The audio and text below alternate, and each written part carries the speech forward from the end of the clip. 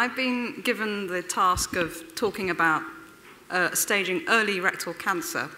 Um, and one of the things about this is that we are trying to identify a relatively small group of patients with a superficial tumour that can be treated with conservative uh, avoidance of um, the full TME procedure. Now, this is a challenge because, firstly, not many patients present with tumours that fall into this category. Uh, and secondly, if we do see these patients, maybe they're not always identified. So what is the role of imaging in staging of early lesions? Um, if a patient does present with an early polyp seen in endoscopy, the importance of imaging is really to confirm that the muscularis propria is preserved and to make sure that any sites of disease within the mesorectum are identified. Then, if that's the case and the patient is suitable for a local excision procedure, then really the ongoing management of that patient is completely dependent on what the final histopathology um, shows us. So, so far, there is no um, replacement for that in terms of prognostic uh, prediction of the risk of recurrence or lymph node metastases. And therefore, we're very much reliant on what the final pathology shows. So traditionally, EUS has been the preferred modality for staging early rectal cancer. And this has been on the basis of many, many studies uh, evaluating EUS over the years and surgeons feeling quite comfortable performing EUS prior to local excision. The problem is that it's not that easy to get good quality images with EUS and it's not that easy to interpret the scans. And this was an interesting paper published um, very recently looking at the whole series of publications on the subject of ultrasound staging of rectal cancer, showing a steady decline in its accuracy for TNN staging, and also a, a steady reduction uh, dependent on the number of patients um, studied in a trial. So if you had a large trial, the accuracy was much worse. And this is from the um, Oxford group, showing that, in fact, the reality of staging EUS in the community is even worse, with um, 45% of patients inaccurately staged. And furthermore, that the information from the staging hasn't so far improved the outcomes for these patients um, being selected for a TEM procedure or um, local excision. And why is that? Why should that be? Well, I think the main reason for this is that the original data from EUS was looking at very superficial lesions. Um, and when you use a very high frequency probe, it's very easy to see a flat lesion and to stage those. But I think when you start to try to evaluate more uh, bulky lesions, that's when the struggle happens. Uh, and I think this illustrates very well the problem faced by EUS, which is that when you have a bulky tumor like this, it's very easy to see the near field, high resolution um, uh, depiction of the tumor. But as you go further and further away from the probe, so you get less and less information. And that's because the um, probe itself is susceptible to uh, anything more than 5 or 10 millimeters depth. It starts to, the image degrades. So uh, this has been shown by um, Konishi, who did a paper in 2003 demonstrating with his uh, analysis of the data that accuracy of staging polyps in the rectum was completely size dependent. So the larger the lesion, the more inaccurate uh, the technique would be. And so they, they felt very strongly that EUS-based evaluation wasn't appropriate to determine what sort of treatment for villus type lesions. So that really is the limitation of EUS because it's not able to really deal with uh, lesions that are bulkier than, say, 20 millimeters in diameter or more than 5 millimeters thick. And then it calls into question what value it really has in these early lesions when they can probably be assessed very well uh, using uh, colonoscopic techniques. So in 1994, this paper, which is a, a really elegant study, was published by Mitch Schnell in the States. Um, he studied 12 patients with rectal cancer and used an endorectal probe.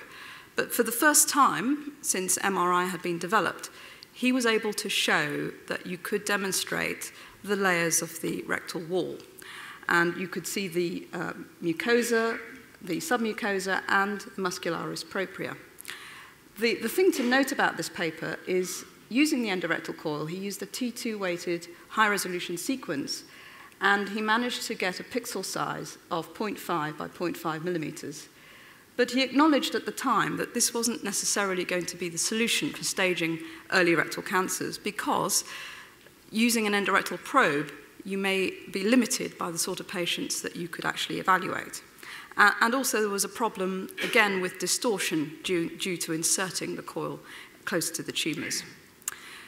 So this was a huge inspiration for me in 1995, having read that paper, and with the new phased array machines that were available in, in, at that time, and with the new improvements in software, we were able to achieve the same sort of resolution using a 0.6 by 0.6 um, pixel size and being able to visualize the anatomy as, as well. And here you see the mucosa with its pattern, its characteristic pattern, which is what we look for. Uh, we look for disruption of this pattern for the T1 tumors. So in terms of staging these tumors, it's very important to be systematic um, and not to jump to the wrong conclusion. In, in the UK, we've been running training workshops for radiologists uh, for the last 10 years. And this drill enables um, radiologists to hopefully assess the tumour uh, systematically and get the stage correct. Um, these binary questions, these questions which have either yes or no answer to them, are very important to run through when actually um, trying to figure out what the stage of a tumour is. And asking that question, can you see the submucosa, is such an important one because that enables you to identify those T1 lesions that are amenable to local excision. So in that way, you can not only measure the depth, you can measure the depth of spread extramurally and, and so on. So here's an example of a polyp lesion which um, is showing the preservation of the submucosa at the advancing edge of the polyp.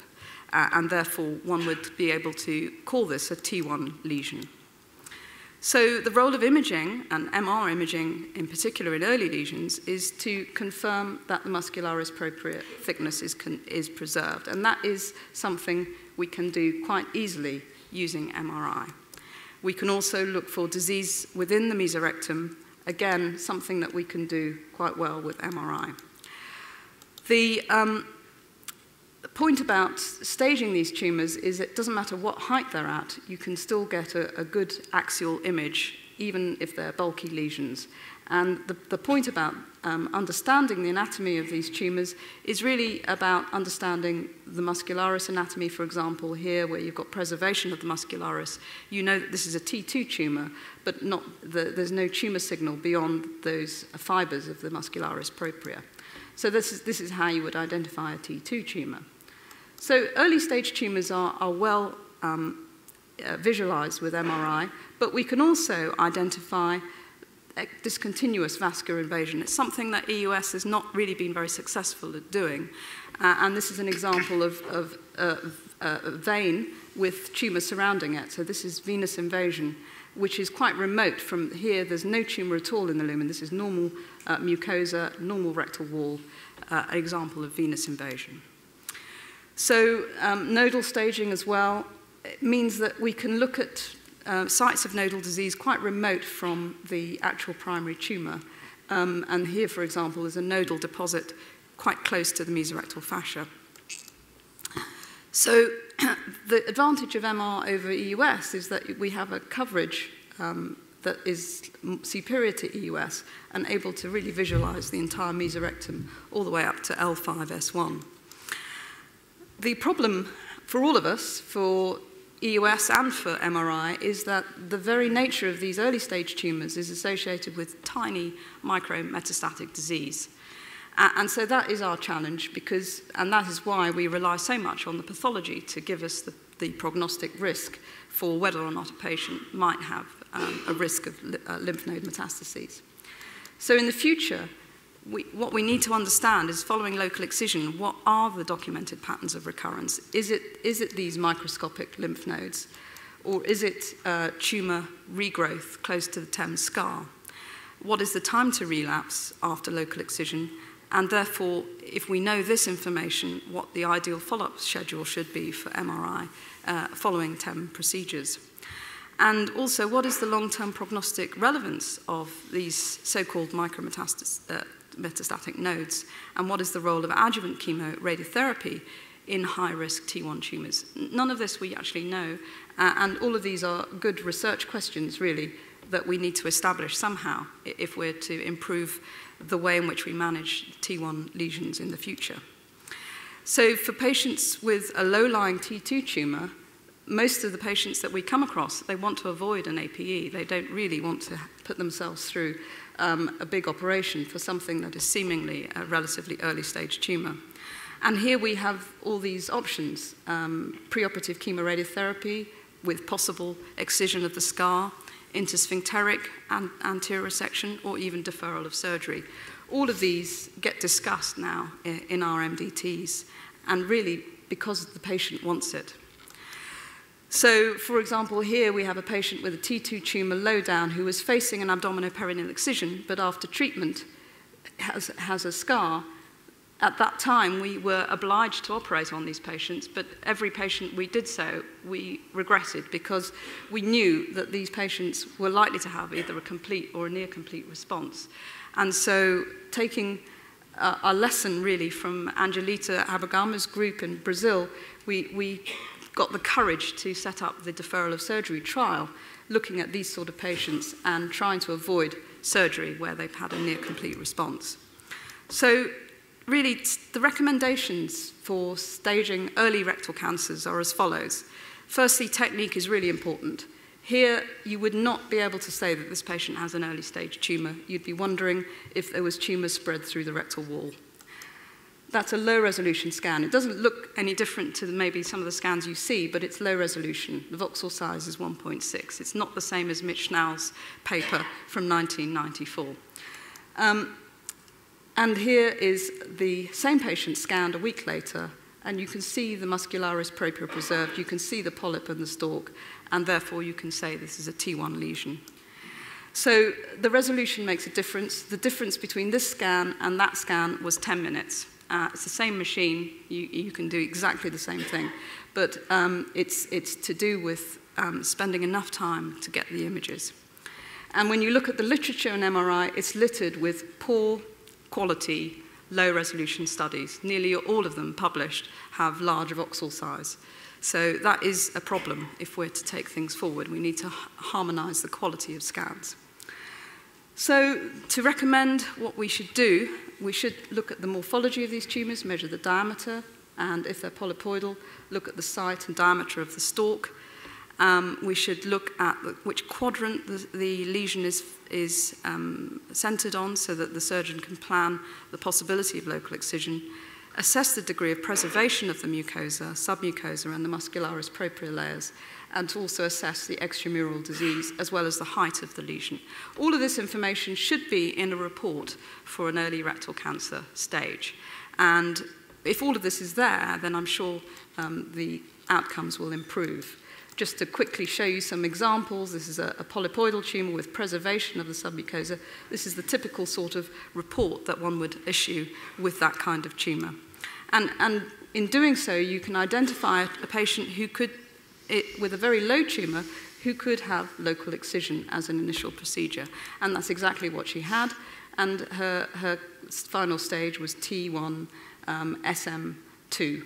and these are the sort of cases that increasingly we can pick up on MRI routinely in our lists and go through them in the MDT and propose that maybe this patient needn't have primary surgery but they could have a local excision first.